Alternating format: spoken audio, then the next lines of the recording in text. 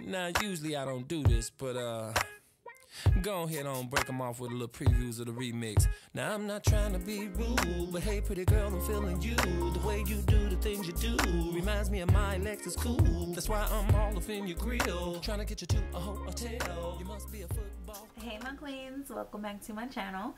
So I'm here to do another wig show and tell and today's wig is another Outre X-Pression braided wig and this is the reggae twist small bob. Um and it's 100% Kanekalon hair. I got her in a color number two. So yeah here is what the unit is looking like on me.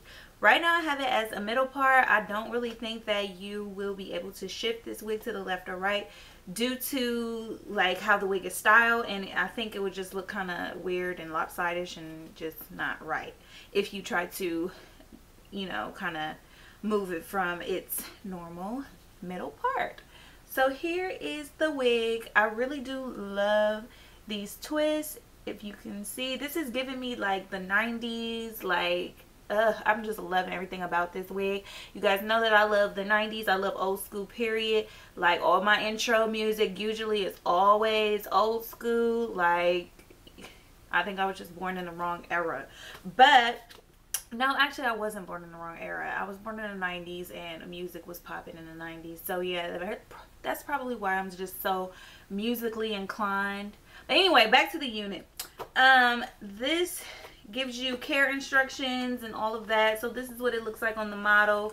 It looks fairly decent on her. You know you have to do your own tweaking and stuff to the unit to kind of make it look more natural. This unit does come with baby hairs. This unit does come with hard lace.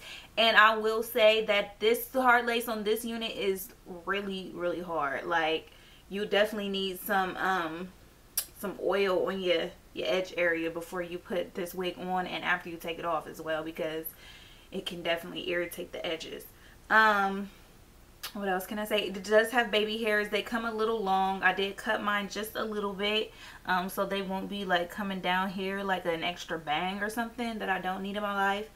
Um, and then, yeah, there is like certain parting spaces. You do get like a flesh tone type of situation going on all the way kind of from here to here. And it kind of makes a U shape and you get like some um like flesh tone in there. And you can definitely if you have the time on your hands to definitely go through and kind of put um concealer or powder in between those parts by all means do so. Today i did not feel like doing that. So yeah i'm just put it in the middle because that's how i'm going to be wearing this unit anyway. This wig does come a little like puffy up in here. But I think after wear and if you put your scarf on this before leaving the house it'll look perfect. And yeah I just think I feel like this is just perfect for if you just want a braided unit and you don't want it too long you really want to try a bob.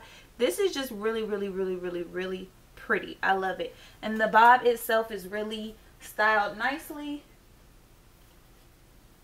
they cut it pretty nice and I like it. So yeah, if your ends do come unraveled, you can definitely redip them in hot boiling water and they will reseal for you. So yeah, it is a very thick unit. I don't feel tracks or like a whole lot of, you know, things is exposed in the back and all of that, which is a plus. So for the price, I think this was perfect. I did purchase this wig from wigtypes.com. Um, I believe they were having a sale on this unit and a couple other other of the Outre X-Pression line wigs. But they do have a limited amount of like um, colors that they have left. So definitely go over and check them out and see what they have left and kind of get your hands on this one because I probably would have got a 1B but I think they were out. So I did end up getting a number two, but this is a dark number two, so it looks really nice. I love it. So let me know what you guys think. If you have this unit, let me know how it held up for you, how you rocked it. And yeah, leave, um, if you follow me on Snapchat and you have this wig, tag me in some pictures because I really would like to see how this looks on other people and how other people have styled it. So yeah, let me know about that. So follow me on Snap and Instagram.